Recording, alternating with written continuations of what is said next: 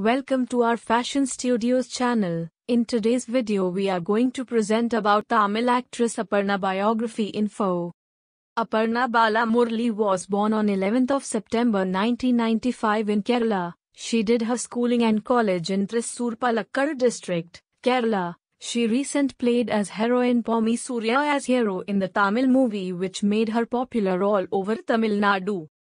Good collection of latest movie Aparna photos biography info are given in this video for fashion entertainment fun time. Please watch till end of this video and subscribe our channel for more interesting content. Thank you. Good day.